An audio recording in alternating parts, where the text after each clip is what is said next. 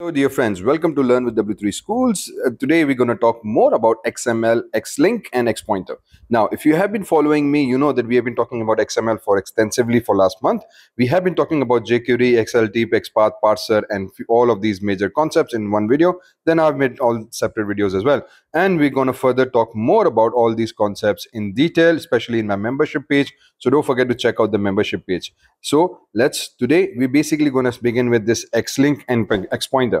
My name is Dr. Zeeshan. Again, here for the first time, haven't subscribed yet, click that bell icon and click the like button so that you can follow along and learn about all these wonderful tutorials that are about to come. Again, a quick disclaimer, I'm not being sponsored by W3 Schools and this is not an official W3 Schools website, nor I don't, nor do I mean to do any copyright issues, but this is, I just love to use this website. It's such a wonderful website. And since I it's a publicly available, you can easily refer to the notes as well, what I am trying to teach and what I'm trying to explain okay so that's the whole intention. So let's begin now. Xml uh, uh, within xml we have something called xlink. Xlink is used to create hyperlinks in html uh, in xml document.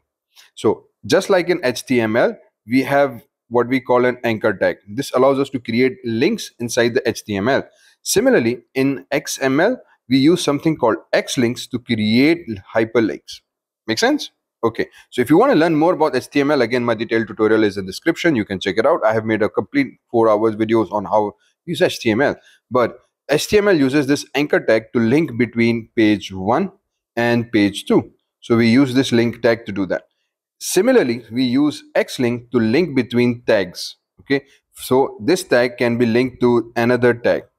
Okay, to do that, we use something called Xlink. Now, this Xlink can be linking page on one file and this can be a completely different XML file. So this is a different XML file. This can be a completely different XML file. Both can work. Means that you refer to tags or you can link tags within the same page or within two different XML files. Similar to anchor tag. So anchor tag also can do the linking between the pages and or, or between multiple uh, websites, between multiple pages and within the same page as well. Same goes with the Xlink as well. Again, the difference is we use with a tag with HTML. With XML to create these hyperlinks, we use something called Xlink. Make sense? Okay, okay. So now within this XML, we have already discussed what we call xquery we have talked about xslt briefly. We have talked about xpath as well. So today basically these two things will be discussed. So this will complete the entire circle of our xml concepts. So xlink is used to create hyperlinks within xml any element in an xml document can behave as a link. So that's the key thing here. You can convert any element that you write inside your xml and converted into what we call a hyperlink. So with xml link the links can be defined outside the linked files as well. So again saying the same thing. So this can be a link okay? And then there can be another link as well. But this can be a completely separate file .dot .xml and this can be a completely separate file. So you can link xml tags between two different files as well as well as within the same file. So this is what it's trying to say. So you can have this thing here and you can link click on one tag and it will point to another tag or another element in an another file XM Xlink is a W3 consortium's recommended as well, just like all of these things as well. So it is part of W3 consortiums.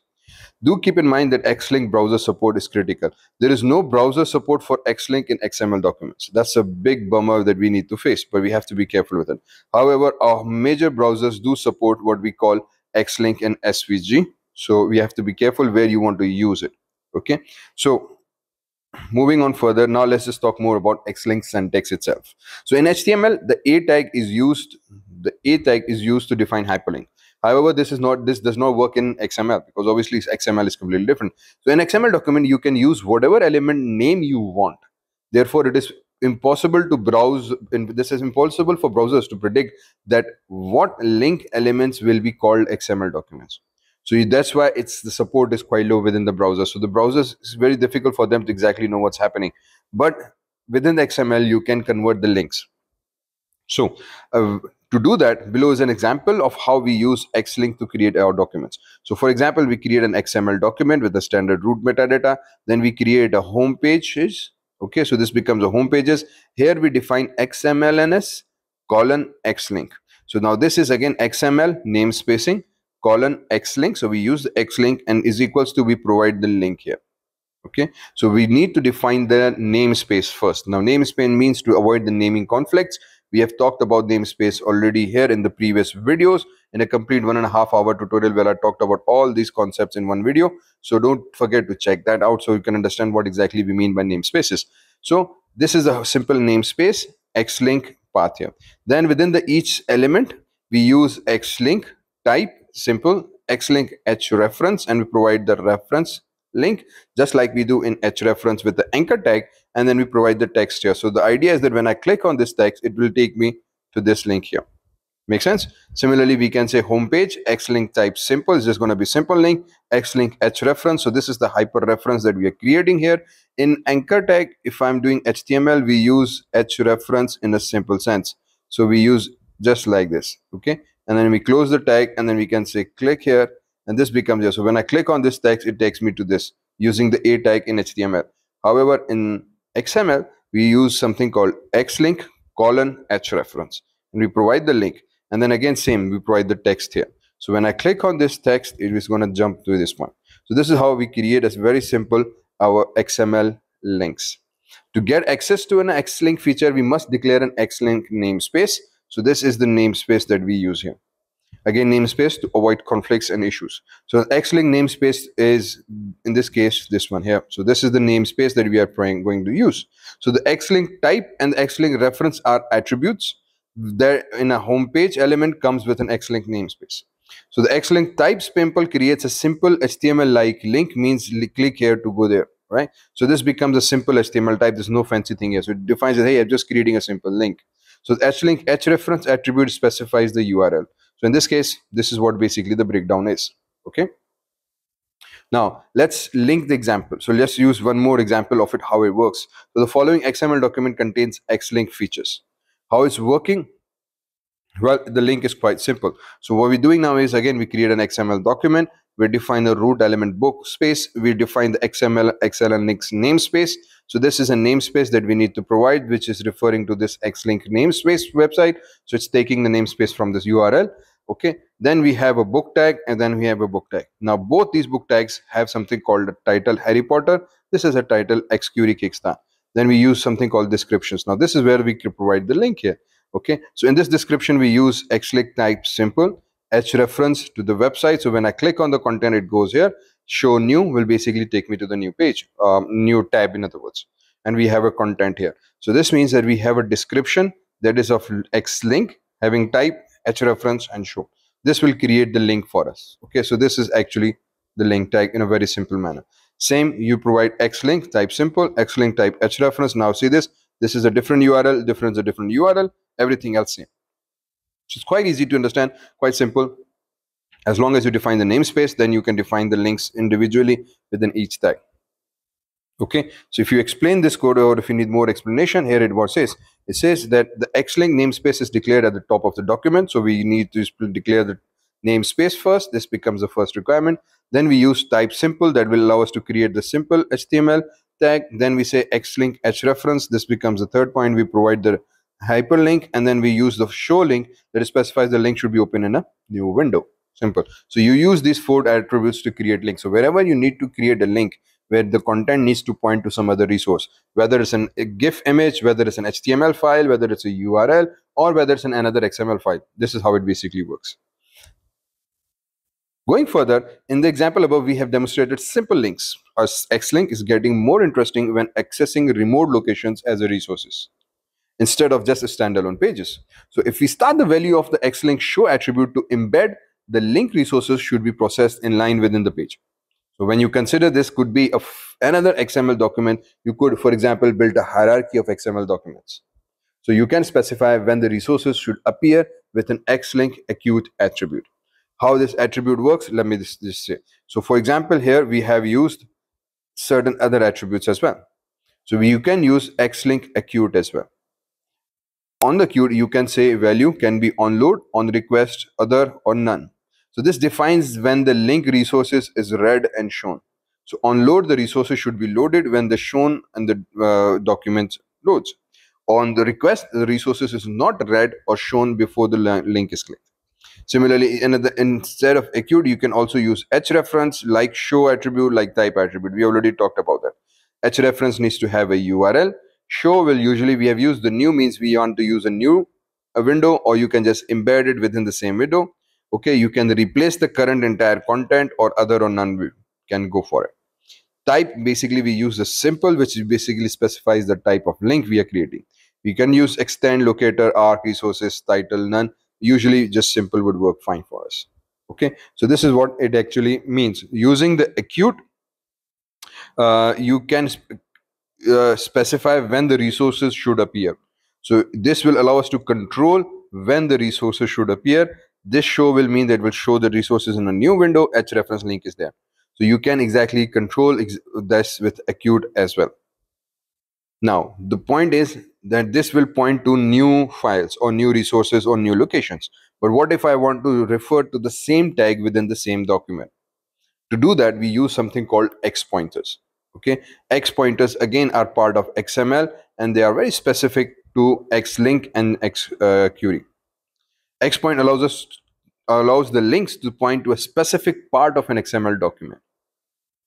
X pointer uses XPath expression. So that's why we say it uses the XPath expression to navigate in the XML document. So we have already talked about XPath in this previous video. Again, the links in the description. You can talk, listen to more about it. So X pointer browser support. So there is again no support for X pointer as well, just like other things. So we have to be careful where we use it and what exactly we're expecting. So X pointer example. Now let's see the explore the example. Uh, X pointer, the idea is that we provide a one tag here and then in, within the same document, we have another tag here. So when I click on this tag, it points to this tag here. This is what X pointer allows us to do. So within the same XML document, we use tags to navigate between and within the documents. Okay, between the elements within each document. That's that's the X pointer's whole purpose is. To do that, we use something called pointer, which basically points to this location here. Okay, so we need that pointer thing. So that pointer thing is actually this ID attribute here. So in this example, we will use X pointer in conjunction with X link to specify a part of another document. We will start by looking at the target XML document as well. Note that this can also point to the same document as well as another document as well. So it's not necessary that the X pointer only works within the same document. Okay. Uh, you can use this to point to another XML file as well on a specific tag. So to do that, we use a key thing called ID. Okay. So this ID is actually the main thing that we use. How we use it? So for example, we have XML document, we create the root element. So this becomes our root tag then we define the element tags dog, dog, dog, dog, dog. This time, what we have done is we have defined dog, given an attribute called breed, but this attribute is the key thing, ID. Same goes for the next ID. Notice that everything can be different because every tag has its own elements. However, the ID again has to be also different. ID basically meaning that now we are giving an ID to this tag, we are giving specific ID to this tag. Using this ID tag, we will pinpoint to this location or this specific tag. Okay, so in, our, in, in note that XML document above uses ID attributes. Yes, we said that. So instead of linking the entire document with as with Xlink, pointer allows you to specify parts of the document. So instead of linking the entire document just like we did here, where we link to the entire website, web pages, or entire web uh, XML files or GIF files, this will actually link to the next entire files. It will open the entire file. But this X pointer allows us to point to a specific location, specific tag within the same document or within the uh, two external documents. How do we do that? Again, so once you specify the ID attribute, okay, once the ID attribute is specified, this ID attribute now can be used to refer to that particular location. So following that, we create another XML file, define the XML, we define our uh, standard root tag my dogs again note that uses the no namespacing xlink. So it uses the xlink. My dog description again the tag element is here. This time wherever we want to create the link we use for example a fact tag xlink type simple. Same thing with that we just discussed with the xlink xlink h reference. However, note the reference this time. The reference uses the file name hashtag dogweiler, Rottweiler. This Rottweiler is used with the hashtag. Now, this is key thing. So we use a standard URL .xml file hash Rottweiler. So now this means that I'm specifically pointing to the Rottweiler tag in my content here. So this will come here and point exactly to this point here. Okay, because we are giving the we are using the same ID here. We are using the same ID. So when you do that, it's going to come here and point that. Same case here as well. So if you note, we have something called voila, this thing, hashtag. So this hashtag allows us to identify where we want to point in a particular place in the document. This hashtag is known as pointer. Okay. In general HTML, we simply call it ID. Okay, but ID is used with ID attribute. So we use ID is equals to inverted quotations. Hash is specifically not used with the ID name. In XML, I hash is used there. But we can use uh, hash in HTML, but it just means they're referring to the same page. Here we are referring to hash indicating that, hey, I want to point to this particular location. That's it. That's all you need to do. You need to come here and understand that yeah, if I need to point to a particular tag, I need to provide an ID without the hash in this case. Okay, so we provide an ID without the hash case. Now I want to point to this location. I come back here. I use the URL now this can be my same URL. If I'm using within the same document, I don't need to use this whole URL. I can just write hash Rottweiler. This would mean I'm pointing to the same document. As simple as that. If this is supposed to be another document, so when I click on this link, it's going to exactly jump and show me this particular tag here. So when I click on it, this tag is going to be displayed. Okay. So if I come back here and if I click on the Rottweiler concept, if I click on here, because it's referring to this URL with a hash, it's going to jump to me and show me this content here. Sure? Make sense? Okay. So xlink is actually creating links within our html document. Within the same document you want to display the whole page. You want to point to a specific pointer location. You basically can do that using X, uh, xlink things. Want to learn more about this uh, do follow along. As i said i will be posting a complete detailed tutorial about xml xml xsd schemas dtd xqueries and all these things. So hopefully uh, these things will be available on my members page soon and most of them already there and some will be available uh, as we go along. So don't forget to follow along and watch the full tutorials on my members page. Thank you for watching. This is dr Zeeshan signing off